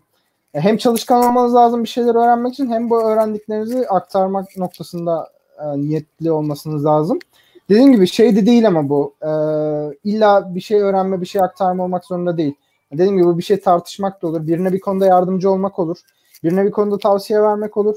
Ve bu ta- bu yaptıklarınızın çok iyi olmasına gerek yok. Hani şu an hiçbir e, GDG vesaire hani böyle bir işi çok iyi yaptığı için GDG değildir yani.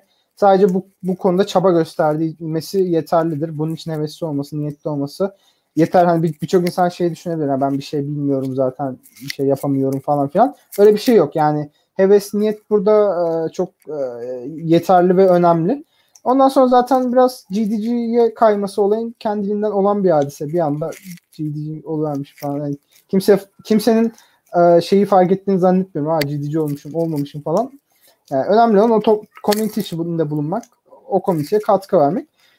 Şimdi GDE kısmı yani Google Developers Experts kısmı biraz daha işin e, adı üstünde expert tarafı ve herkesin bir anda olabileceği bir şey değil. E, şu an Türkiye'de çok az GDE e, etiketine sahip insan var. E, ve hani her alan için mesela ne gibi alanlar var? İşte Cloud var, Android var, e, Flutter var. E, başka ne var bildiğiniz varsa e, sayabilirsiniz. İşte şey şey var, machine, var. machine learning vardı, asistan vardı gibi gibi. Belli alanlarda sadece böyle birer ikişer GD var yani Türkiye, Türk olarak yani Türkiye GD'leri olarak ve bu biraz daha dediğim gibi artık expertlik gerektiren bir şey. Ee, orada biraz daha o işte şey olduğunuzu göstermeniz gerekiyor. iyi olduğunuzu göstermeniz gerekiyor. Ee, GD olmanın ana haritası da şey yani öncelikle başka iki veya bir GD tarafından önerilmeniz gerekiyor. Ee, yanlış olmasın ben biraz genel konuşayım. Ee, öncelikle başka bir GD tarafından önerilmeniz gerekiyor. Daha sonra e, sizin şeyiniz ölçülüyor. E, hakikaten ne kadar bir işi bu işi iyi yaptığınız, e, hakikaten işinizde uzman mısınız, iyi çalıştınız mı, e, sorulara cevap verebiliyor musunuz gibi gibi gibi mülakatları var. Ve de ardından şeye bakıyorlar. Sizin community olan katkınıza bakıyorlar. Hani ne kadar e, bu community olan katkı herhangi bir şekilde o şekilde olabilir bu arada. E, Arkadaşlar şekilde... quiz değil e, form var. Form quizle eşdeğer olacak. Bunu duyurularını geçiyoruz. Formları paylaşıyoruz. Formu doldurmanız yeterli. Kusura bakmayın zaten. Önemli değil. Ee, ondan sonra dediğim gibi komüniteye katkınıza bakılıyor. Bu katkı herhangi bir şey olabilir. Bir video çekmiş olabilirsiniz. E, yazı yazıyor olabilirsiniz. E, etkinlik düzenliyor olabilirsiniz. E, açık kaynak proje paylaşıyor olabilirsiniz. Gibi gibi hani bayağı topluluğa yani şeysiz diyeyim ücretsiz. Hani tabii bu şeyler dahil değil buna. Paralı ücretli yapılan eğitimler buna dahil değil. Kesinlikle ücretsiz bir şekilde topluluğa yapmaya çalıştığınız katkıları katkılar bir şekilde değerlendiriliyor. En sonunda hani bütün bunlardan geçtikten sonra e, ve bu alanda bir GD'nin ihtiyacı varsa bunun altını çizeyim. E, bu pataküte alınan bir şey değil. E, bu alanda bir GD ihtiyacı var mı bu ülkenin şu anda? Varsa eğer e, olabiliyorsunuz artı. Hani o biraz da dediğim gibi GD tarafı e, böyle soyut bir şeye doğru gidiyor. Hani hatta bayağı böyle katkı sağlayıp yani Türkiye'de değil de yabancı sektörde hani katkılarını bayağı gördüğüm ama GD olmadığını görünce şaşırdığım insanlar da var açıkçası öyle diyeyim. Ee, o GD tarafı biraz daha şey ama şunu aklınızdan çıkarmayın. GD olmak için uğraşmayın. Hani siz uğraşın o sizi GD'liğe götürürse bir artı bir şey olur. Ee, götürmezse de şey yani o yaptıklarınız zaten o GD olmanın şeyi e, yapı taşı yapılması gereken bir şey. O yüzden zaten bu yolda olun. Her zaman bu kafada olun zaten. Artı mesela GD'nin şey muhabbeti var. Ee, hani bir kere GD oldunuz tamam artık siz G, hayatınız boyunca GD'siniz diye bir durum yok. Her sene bunun bir değerlendirmesi oluyor. Eğer yani bu sene boyunca e, community'ye katkınız ne durumda diye tekrardan bir ölçümden geçiyorsunuz. E, ve o ölçüm sonucunda atıyorum o sene boyunca siz hiçbir şey yazmadınız, hiçbir şey paylaşmadınız, hiçbir şey yapmadınız. E, GD'niz elinizden alınabiliyor. E, öyle de bir e, noktası var diyebilirim. Google'da çalışma kısmı aslında Murat abi biraz da hani şey yapsa e, çok hani vakti yoktu onun da biraz daha kısıtlı bir vakit gittiğindeydi. O bizim e, bu Android Extended yayınlarında çok güzel e, Yiğit Boyar'ın da aynı şekilde açıklamaları vardı. E, ben hani aklımda kaldığı kadarıyla özetleyeyim. Hani Google tarafı da zaten e, o da hani o da ciddi bir hani yine expertlik bir e, şeylik gerektiren bir mevzu ama hani biraz da artık bu e, nasıl diyelim farklı bir iş alanı hani sizin buradan para kazandığınız bir iş e, alanı olduğu için hani Google'da çalışmak biraz daha tabii e, eskiye göre e, eskiye göre değil e, diğer konuştuğumuz şeylere göre biraz daha zor. Yani başvuruyorsunuz öncelikle muhtemelen e, muhtemelen değil önce bir red diyebilirsiniz mesela. Böyle bir durumda başvurmaktan asla çekinmeyin. Çünkü hani ben neydi 5 6. başvuruşunda falan kabul edileni yani 6 kez başvurmuş 6.sında şeye katılabilmiş. Mülakatlara vesaire görüşme aşamasına katılabilmiş. Ondan sonra yani şey olmuş e, içeri girmiş yani Google'da çalışmaya başlamış. Ama 6 kere sadece başvurması gerekmiş mesela. O yüzden mesela başvurmaktan çekinmeyin hiçbir zaman. Öyle bir niyetiniz varsa ciddi manada. E, tabii ondan sonra bir mülakat aşaması oluyor. Sizi ölçüyorlar, biçiyorlar. Yine şeylerinizi e, referanslarınıza bakıyorlar. Sizi neler yaptığınızı, neler yapabileceğinizi e, bilen, tanıyan e, belki daha kıdemli insanların fikirlerini alıyorlar vesaire. Ve gerçekten orada e, bir şeyler yapabileceğinizi gösterdikten sonra ve yine açık e, ve yani ihtiyaç olması durumunda iş teklifini alıyorsunuz genel olarak. Ya benim de şöyle bir hmm, ekstra eklemem gerekiyor. Biz burada Google çalışanları değiliz. Yani sadece Google kısmıyla iletişimimiz olduğu için fikrimiz oluşuyor ama komünitelere katılmak bence buna destek olabilir bir şey. Sonuç olarak komünitelerde bir e, destek durumunuz var, tanı, tanıyorsunuz ve komünitelerin açılımı da Google Developers gruplarında, Developers Club'larında hani ilk cümlelerini okursanız Google teknolojileri başta sonra diğer teknolojiler olmak üzere etkinlikler düzenlemek. Yani burada aslında Google teknolojilerine de hakim oluyorsunuz. Ve bu kısmı size destek olabileceğini düşünüyorum ben. Ee, Numan ya bu işin en temel aşaması bu komünitelerle başlamak. Yani öğrenciyseniz Hı. kesinlikle bir DSC var mı üniversitenize araştırın. Ee, yoksa lider olmak için başvuruda bulunun ve açılmasına siz vesile olun. Varsa katılın dediğim gibi. Ee, ondan sonra öğrencilik şeyini geçirdikten sonra belki e, bölgenizde GDG var mı? Ona bakın. Yoksa yine e, kurulması adına çaba sağlayın, katkı verin, uğraşın. Ya yani bu böyle başlıyor genellikle bu tarz hikayeler. Buradan e, yani bu community'ye katılmak size zaten çok korkunç bir altyapı sağlıyor. Hani gerek e, sosyal gerekse de Google teknik anlamda. iletişime geçiyorsunuz direkt. Aynen Yani çok ciddi kısımda- bir altyapı sağlıyor. Hı hı. Bu da sizin için tabii her zaman bir artı oluyor. Yani hem kendi kariyerinizde hem de ilerlemek istediğiniz noktaya doğru çok büyük katkılar oluyor yani. Şey neydi az önceki soru? Google e, tam sorumu alamadım. E, Google kısmında nasıl developer olarak başlayabilirim diye. Bildiğim kadarıyla ülkemizde Google Developers olarak alım Evet. yapmıyor. Google Hangisi? Developer mı? Google Developer Google'da Şey, developer bir- olarak çalışmak için. şey diyor bir işveren Google Developer yani Android Developer falan Ha. mı demek istedin acaba? Bir işveren diyor çünkü Google demiyor. Bir işveren bizde Google Developer olarak yani Android Developer olmayı kastediyor olabilir belki. Android Developer altına yazmış zaten. Android Developer kısmı hani Necati de bu kısımda çalıştığı için o cevap verebilir diye düşünüyorum. Yani. An- Android Developer olmak için ya öncelikle işte hani Kotlin diline bir hakim olmanız lazım. İlk e, girmeniz gereken nokta o. E, daha sonrasında da tabii şu e, hani şu an üzerinden geçtiğimiz dersler çok temel konular. E, bu derslerin üzerine hani e, belli e, bir dikkat göstermeniz ve üzerine çalışmanız gerekiyor. Ya işte bu, bu bizim gördüğümüz derslerin de artık yani çok yani temel noktaları da aldıktan sonra e, işte atıyorum biz şu bazı komponentlerin üzerinden geçemedik mesela. Oturup o komponentlere bakmanız lazım. Daha sonra e, bu Jetpack library'si e, Murat'ın da bahsetti. E, o library'deki komponentlerin sık kullanılanlarına e, biraz hani hakim olmanız gerekiyor. Çünkü birçoğu şu an sektörde kullanılıyor. Bir de e, architectural bir şeyler e, bir şeyler hakim olmanız gerekiyor. Hani MVVM pattern'ı nedir? Clean architecture nedir? E, işte view model nedir? E, LiDAR nedir? Bunu, bu gibi e, architectural e, şeyleri de biraz oturttuktan sonra aslında gayet bir işveren e, size çok rahatlıkla kapıyı açar yani. Şundan da bahsetmek istiyorum. Az önceki yanlış anlama kısmından ben kendimden de biraz, kendi anımdan da biraz bahsedeyim. Ben e, ko- dilleri öğreneceğim, hangi diller daha zor kısmına falan gidip üçüncü dil olarak, kodlama dili olarak assembly öğrenmiştim.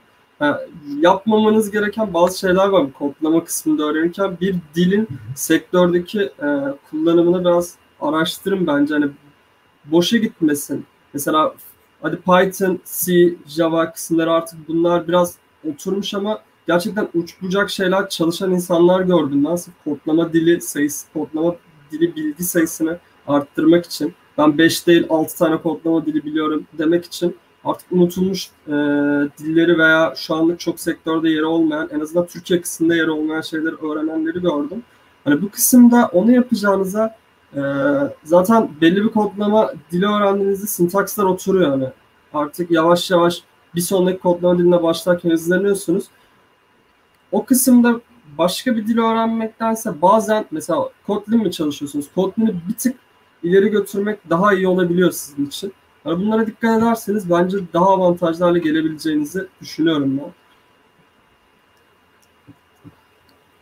Onlarda da Android developerlık kısmında hani aktif oluyor olmanız lazım. Biraz daha böyle elinizin yatkınlığı lazım. Benim düşüncemce e, bunu düzenli olarak çalışıyor, yapıyor olmanız lazım, yazıyor olmanız lazım. Hani benim arkadaşlarım da o kısımda girerken e, kendilerini ilk başta uygulama yazmaya başladılar. Ben böyle bir uygulama istiyorum diye. Hani böyle bir uygulama bulamadım, iyi kendime yazarım diye. Böyle şeyler de yapabilirsiniz. Ekstra anlatacak bir şeyimiz kalmadıysa bir tane daha soru var. Cloud, Cloud evet. yani E, Flutter, e, Cloud, Cloud, Flut- Cloud olacak, sonra Flutter olacak. Kitlenme orada. Cloud etkinliğimiz olacak bu etkinlikten sonra ve sonrasında Flutter etkinliğimiz olacak. Yasin şey demiş, GD olmanın bize ne getirisi oluyor demiş de yani GD olmak size para kazandırmıyor Do- doğrudan diyeyim yani. GD şey değil, maaşlı bir meslek değil. Ama onun için ciddi bir forsu var öncelikle. Hani GDE dedim ya Türkiye'de belli alanlarda sadece 2-3 tane GDE var. Hani siz onlardan birisiniz. O coğrafyada sizi bırakıyorlar bu kısımda yetkini anlatmak için. Android GDE. Şimdi yani şu Google yani Türkiye coğrafyasında Android alanında Google'ın onay verdiği, expert dediği, bu adam işini biliyor dediği birkaç insandan birisiniz. Ve bu size çok ciddi bir force sağlıyor. Birçok kapıyı açıyor haliyle. Yani gerek danışmanlık anlamında, gerek size insanların başvurması anlamında e, gerekse her türlü artık her yere çekebilirsiniz bunu. Yani çok ciddi bir title'ı sağlam olan bir şey. Bunun yanında tabii birçok artısı da var. E, hani her insanın ulaşamayacağı bazı oturum gruplarına katılabiliyorsunuz. GD'lerin yani GD'lere açık Slack kanalları var. Orada direkt diğer GD'lerle hani dünya üzerindeki sayılı insanlarla bir araya gelip bir şeyleri konuşabiliyorsunuz. Aynı alanda işte Google'dan bir ton insan takılıyor. Onlarla doğrudan iletişimde oluyorsunuz. E, aracısız, şeysiz vesaire. Belki işte üzerinde çalışılan bazı şeylerden haberdar oluyorsunuz gibi gibi gibi gibi hani böyle e, şey muhabbeti var. Mesela başka bir atıyorum GDC başka bir ülkeden bir GDC sizi konuşmaya çağırabiliyor. E, ve bu e, oraya gitmeniz için şeyi e, ulaşım masraflarını vesaire mesela Google karşılıyor bu tarz durumlarda. Hani orada gidip e, hem sunum yapmış oluyorsunuz hem de bir e, farklı bir ülke görmüş oluyorsunuz. Farklı bir kültür tanımış oluyorsunuz. Yani gerçekten açmadığı kapı yok diyebilirim ben genel olarak. Ama zor bir. Tabii yani, yani çok e, ya böyle şey bir şey yani hayatımızın önüne ben GDE olacağımı bilmiyorum. Ben koymak çok mantıklı gelmiyor. Ee, ama GDE olmak için neler yapmak gerekiyorsa yani açıkçası ben kendimden şu an örnek vereyim. Hani GDE olmalıyım diye bir kafamda bir şey yok. Ama GDE olmak için neler yapmam gerekiyorsa şu an hepsi benim hayatımda bir şey. Yani topluma katkı sağlamalıyım kısmı. Tamamen hakikaten e, benim kafamda olan bir şey. E, yapmaya çalıştığım bir şey. Bence de önemli olan kısım bu. Yani o ya, title almışsınız almamışsınız çok üzerine takım. Bir de şöyle bir durum var. E, GDE kısmında bir iki yıllık süreç bırakıyorsunuz aslında. Hani bu resmi bir süre değil. iki yıl olduktan sonra değil ama hani genel olarak iki yıllık, üç yıllık bir süre çalışma süresi bırakıyorsunuz ve düşünseniz hani o kısmı siz çalışıyorsunuz iki yıl boyunca bunun odağında ve sonrasında kontenjan kısmı yok. Yani yeterince GDG, şey, GDE var orada ve e, anlamayabiliyorsunuz. Veya o kısımda yeterli olmayabiliyorsunuz. Ve psikolojik olarak bir iki yılım gitti muhabbetine girebiliyorsunuz. O yüzden Necati'ye katılıyorum. Bu kısımda hani kendinizi geliştirme noktasında GD içinde neler gerekliyse onları da etki e, yaparak devam ederseniz hem sonrasında hüsranla bitmez bitmeyebilir. Hem de e, çok etkin bir süre geçirmiş olursunuz bu zamanda. Ya işin eğlenceli kısmı GD olmak değil. A- açıkça söyleyeyim ben. GD olmanın bir stresi var böyle. Hani acaba o title'ı alırlar mı benden vesaire gibisinden sanki öyle bir şey sezinledim ben. Hani artık GD olduktan sonra hani GD'lik title'ın elinden alması için artık biraz daha fazla uğraşmamız gerekiyor vesaire. Yani ondan ziyade işin eğlenceli kısmı zaten komüniteye katkı verme kısmı. O konuda e, herkes dediğim gibi gönlünüzce eğlenin yani. Benim tavsiyem o. Üniversite temsilcileri dediğin Developer Student Club'la yani DSC'ler adına mı e, Bekir? O, onunla ilgili ise Discord'dan bana yazabilirsin. E, yazıyor olacağım. Aynı zamanda Cem Fındık'la GD olmuş kişilerin isimlerini nereden bulabilirim diyorsan yine aynı şekilde özelden yazabilirsin. E, söylüyor olacağız ama burada mesela Android kısmıyla ilgileniyorsan e, Hadi Tok Elif Boncuk. Ee, başka var mıydı Necati? Ben mi eksik. Veya yurt dışı kısmından işte Murat Yener'de bir GD'ydi aynı zamanda. O şekilde e, cevaplayabiliriz. Özelden yazabilirsin. Onları da cevaplıyor oluruz. E, Emirhan paylaşmış mesela ekip üyelerimizden, ekip liderlerimizden. Bu kısımdan da ekstra bilgi edinebilirsiniz GD konusunda. İyice e, etkinlik konusuna çekmemek için, komüniteye çekmemek için ee, bu kısımların devamını Discord'dan alıyor oluruz. tekrar ben, ben şöyle sosyal medyaları paylaşayım. Ee, Murat abinin linkini. Buradan bütün GD'lere ulaşabilirsiniz. Süper. Sen az önce ne sormuştun bana? Ee, Android konusunda Hadi Tok, Elif Boncuk başka e, Aynen, Türkiye Android, kısmında yoktu değil mi? Android'de sadece evet Android'de iki tane GD'miz var. Hı hı. Aynı zamanda Murat Yener de yani bugünkü konuşmacımız da GD'yi e, o zaten Amerika kısmında. Şöyle tekrar Twitter linklerini paylaşıyor olalım. Ee, Murat abi ulaşmak isterseniz, Necati'ye ulaşmak isterseniz veya e, benim bu hafta içerisinde paylaşımlarım olacak yine. Bu kod lab'lerdir veya kaynaklardır. Farklı bakış açıları görmek istiyorsanız Kotlin kısmında e, takip edebilirsiniz. Bunun haricinde so bizim sosyal medyalarımızda ekip arkadaşları paylaşırsa süper olur. Bizden bu akşamlıkta bu kadardı. Kendi linkimi bulamıyorum şimdi. Tamamdır paylaşıldı. Ee, bizden bu akşamlıkta bu kadardı. Ekstra bir sorunuz olursa Discord'da oluyoruz genellikle. Hani sadece yayın sonrası diye bir izlenim oluşmuş. Sadece yayın sonrası değil. İstediğiniz zaman bize ulaşıp orada e, bizi o kanallara davet edip Dilek Öneri kısmına davet edip sorunlarınızı veya etkinlik hakkında fikirlerinizi paylaşabiliyorsunuz. Veya böyle ekibin içerisinde olmak istiyorum derseniz onun da linkini paylaştık. E, kayıt formları var. Telegram'da da aktif bir şekilde paylaşıyoruz onları. Ekibimize de alımlar, alımlar yapıyoruz. E, tekrar katıldığınız için teşekkürler. Necat aynı zamanda senin sen de katıldığın için teşekkürler. Bizden bu kadardı. Bir sonraki etkinlikte e, görüşmek üzere diyelim. Görüşürüz arkadaşlar. İyi akşamlar.